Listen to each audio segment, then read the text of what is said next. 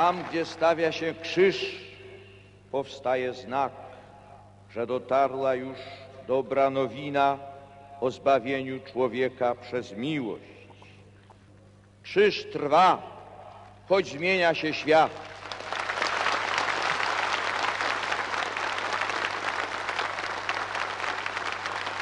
Nie można oddzielić krzyża od ludzkiej pracy. To właśnie potwierdziło się tutaj w Nowej Hucie.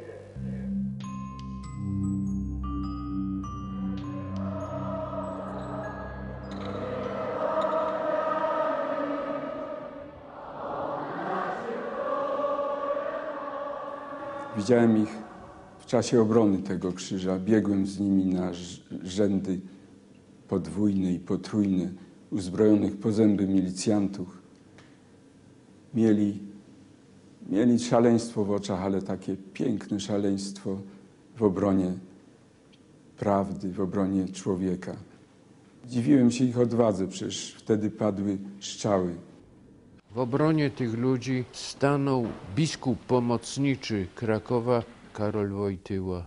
Taki apel ogłosił do mieszkańców Nowej Huty, żeby uspokoili się, żeby przerwali te walki, że on zacznie rozmawiać z władzami.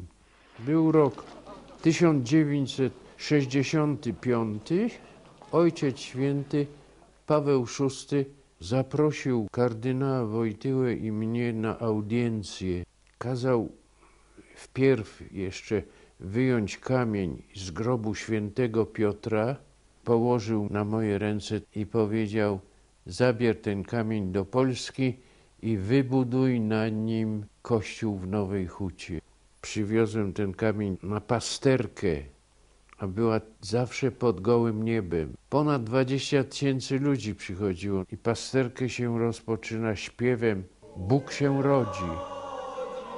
A wtedy robotnicy Nowej Huty zaczęli krzyczeć Moc truchleje, moc truchleje, moc truchleje. No tak się darli. Kilka minut to trwało. Kardynał siedział na tronie, za ołtarzem wstał, podniósł rękę, żeby się uciszyli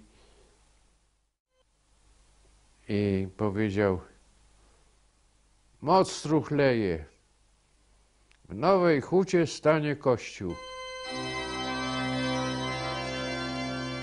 Od pierwszej zaraz chwili miałem takie myśli, że to musi być arka, musi być łódź, bo Nowa Huta stała się Czerwonym Morzem. I powiedziałem kardynałowi Wojtyle, musimy zbudować łódź w środku Czerwonego Morza.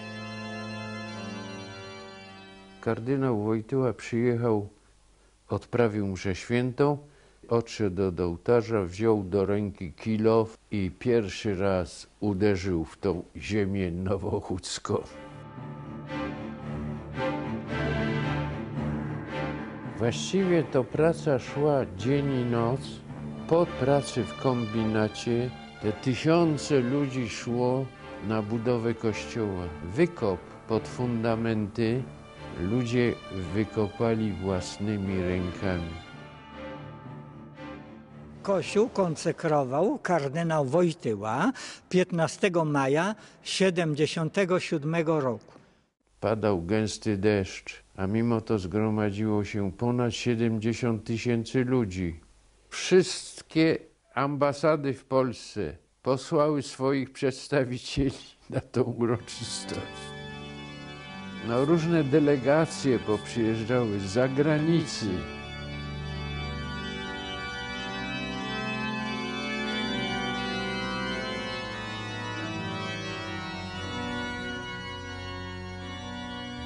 Za rok później został papieżem.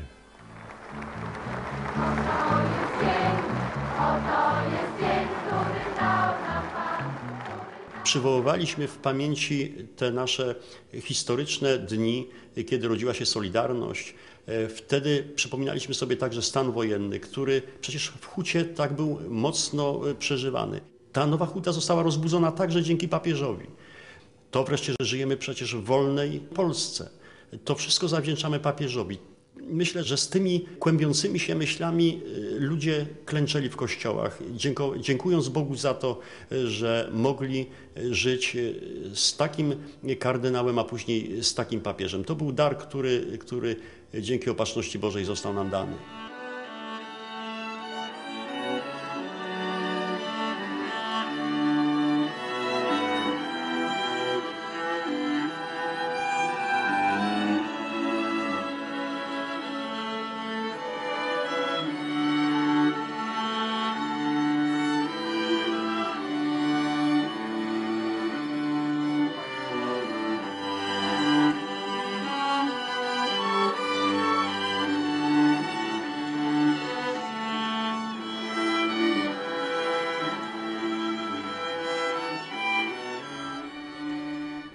On nigdy nie sprawił przykrości nikomu.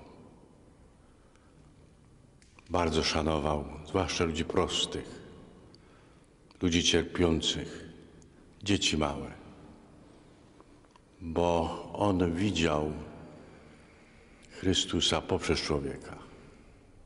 A wtedy, kiedy mu było ciężko, to powtarzał: Niech się stanie Twoja wola, todos tus.